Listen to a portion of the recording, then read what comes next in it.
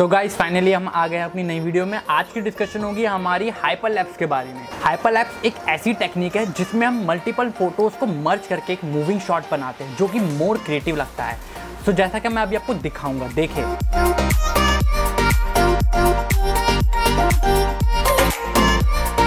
तो guys hyper lap बनाने के लिए सबसे पहले आपको ये फोकस करना है कि आपको कितने सेकंड की हाइपर लैप बनानी है। उसको आप 25 फ्रेम से मल्टीप्लाई कर दे। अगर इफ़ एंड एल्स अगर आपको 4 सेकंड की बनानी है तो आपको 100 इमेजेस की शूट लेनी पड़ेगी। और आपका सबसे मेन पार्ट ये है कि आपको इसके ऊपर ध्यान रखना है कि जो आपका सब्जेक्ट है, उसमें डिस्टेंस ज़्यादा होना चाहिए। तभी आप उन 100 फ़ोटोज़ को कैप्चर कर पाओगे। अब आपने सब्जेक्ट का डिस्टेंस और सेकंड्स मेजर कर लिए अब सबसे मेन पार्ट आता है कि हाइपरलैप्स बनाते समय आपके पास एक ट्राईपॉड होना ज़रूरी है। ट्राईपॉड है एंड देन आपको जो आपका सब्जेक्ट है, उसको फ्रेम के सेंटर में होना ज़रूरी है। और फ्रेम के सेंटर में वो कैसे आएगा?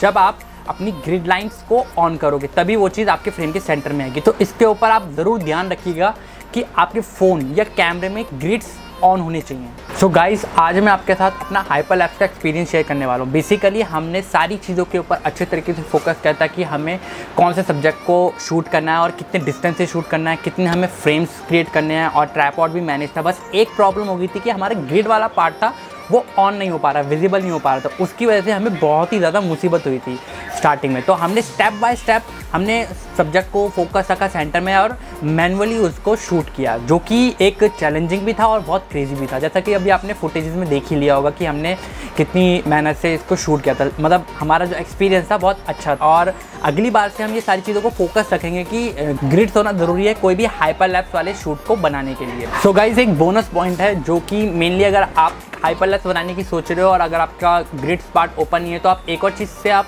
कंट्रोल कर सकते हो। आप अपने कैमरे के स्क्रीन में या फ़ोन के स्क्रीन में टेप लगा सकते हो ट्राइंगल में टेप कट करना और उसे सेंटर में लगा देना। उसके अकॉर्डिंग आप इजीली आप अपने सब्जेक्ट को उससे मैनेज कर पाओगे और आपका जो हाइपर लैप आएगा वो बहुत ही ज़्यादा अच्छा आएगा। कोई दिक्कत नहीं आएगी आपको।